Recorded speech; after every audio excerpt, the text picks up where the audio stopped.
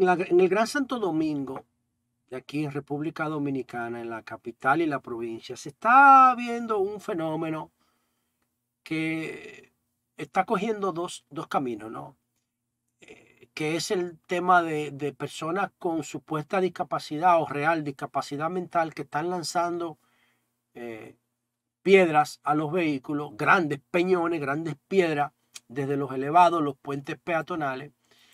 Ah, y hay, una, hay un grupo de personas, de víctimas, que entiende que eso no es eh, circunstancial por la gran cantidad de casos que se han reportado, que eso es crimen organizado.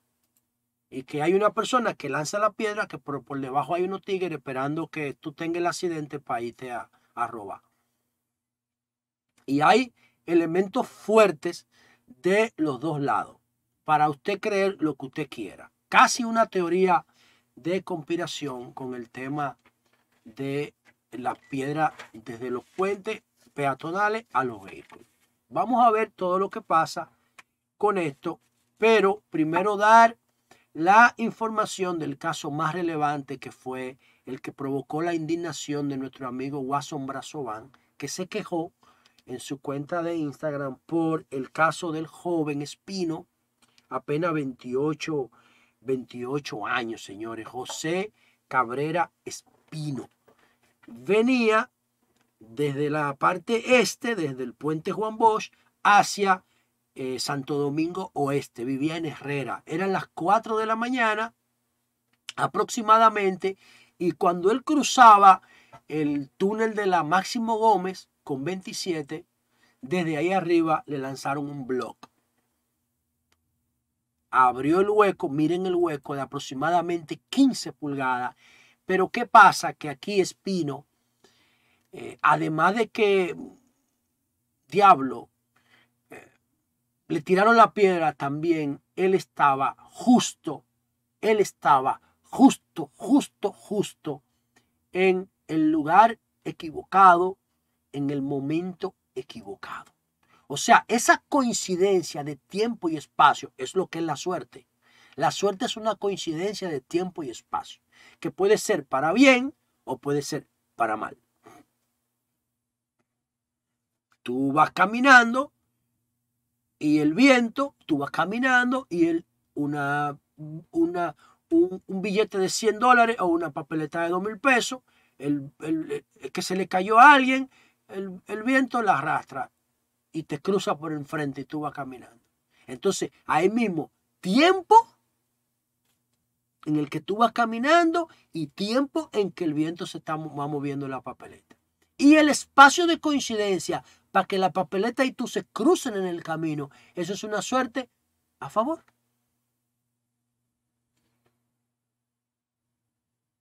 Pero cuando la suerte se manifiesta en contra, es el azar. No hay forma de decodificar eso, no hay forma de predecirlo, no se pueden hacer predicciones sobre el azar.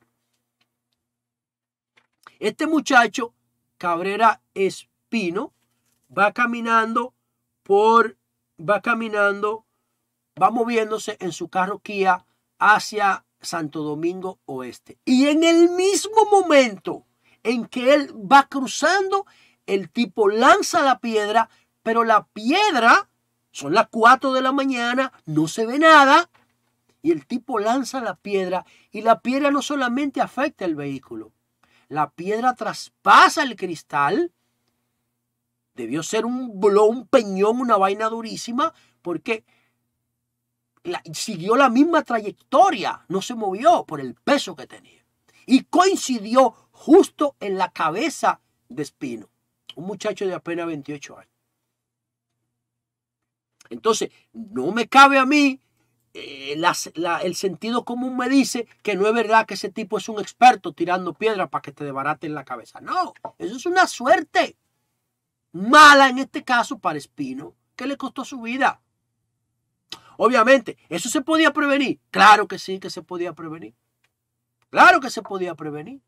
Porque yo no entiendo eso de que no, porque lo, lo, los indigentes no se pueden sacar de las calles.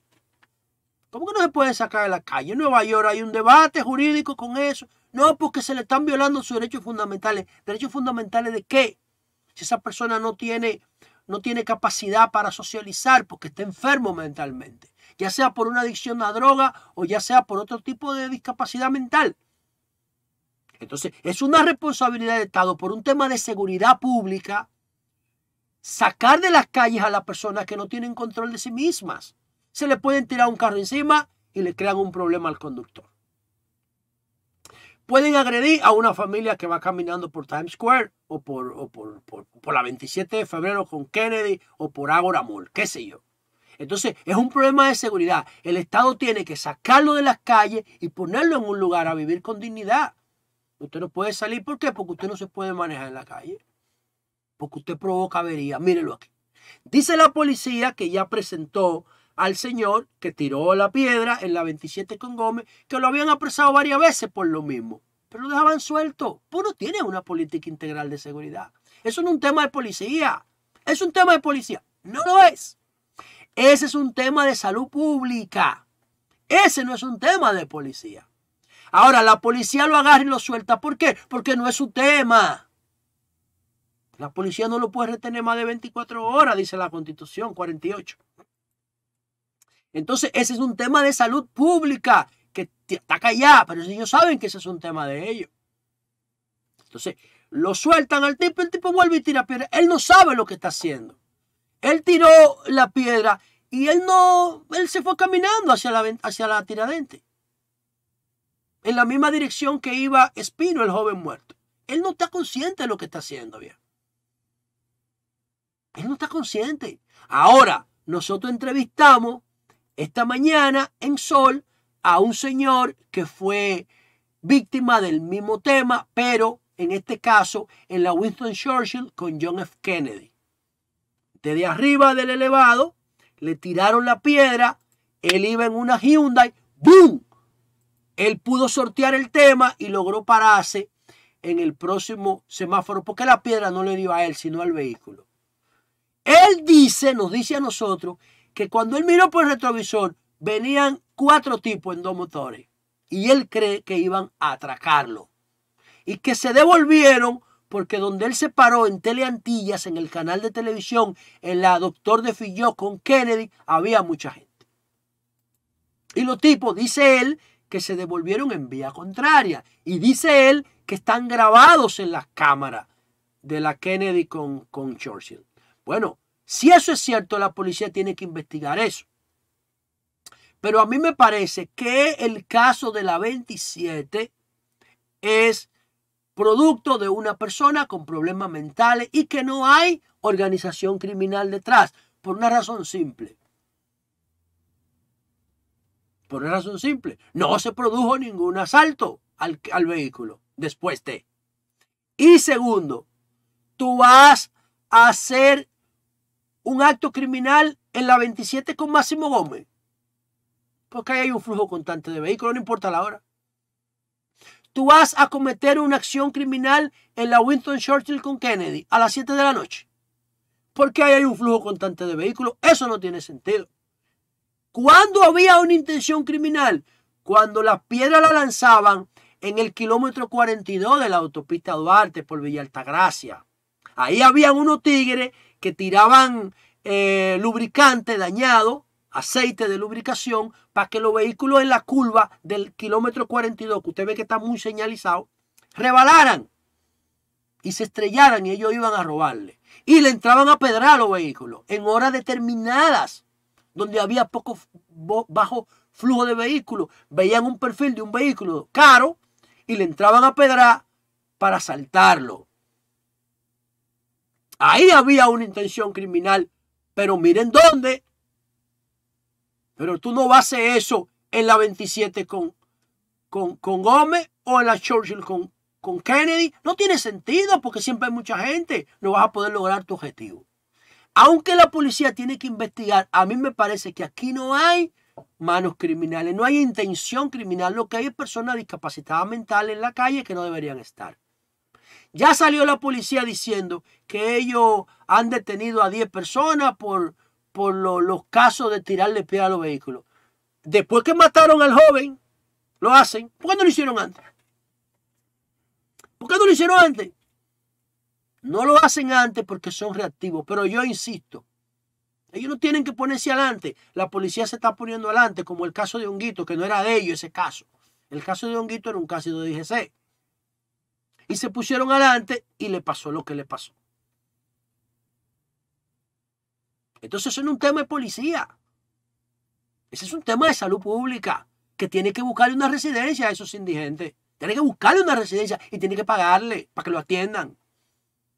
Porque están protegidos por la constitución. Simple. La policía no tiene que meterse en eso. Sí, la policía tiene que salir a buscar el tipo de la piedra para descartar manos criminales. Y tiene que investigar la denuncia del señor que dice que habían cuatro en dos motocicletas que se devolvieron en vía contraria y que lo iban a atracar. Pero si se descarta la acción criminal, entonces lo que tiene que hacer el gobierno, lo que tiene que hacer el gobierno es sacar esos indigentes de la calle. Yo personalmente no tengo evidencia para decir que detrás de la muerte del joven de la, de, la 27 con Gómez, de Espino, Cabrera Espino, yo no tengo evidencia para decir que hay manos criminales. Yo pienso que esa persona que presentó la policía ahí actuó solo porque está demente.